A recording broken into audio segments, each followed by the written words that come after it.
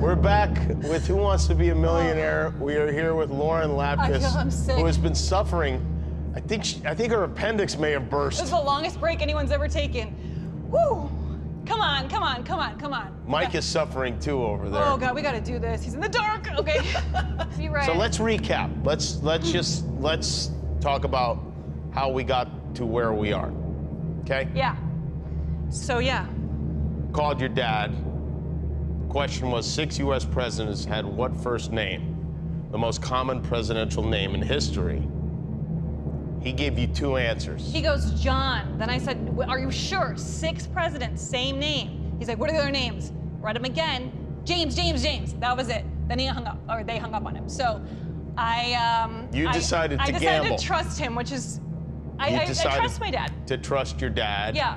And risk So much A money. lot of I'm money. gonna feel really bad. a lot of money. Please be right. And uh, well, let's get dad. Can we get dad back on the phone? Oh God, please be right. Oh God. Oh God, I feel sick. Please leave your message. Oh no! That's so my dad. Hold on, leave it up. He would turn off the phone. I'll give you another number if you need. Leave it up. Hey, uh, Jules.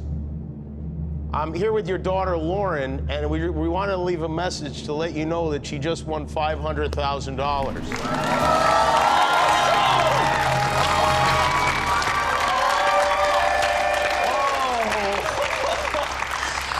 I'm crying.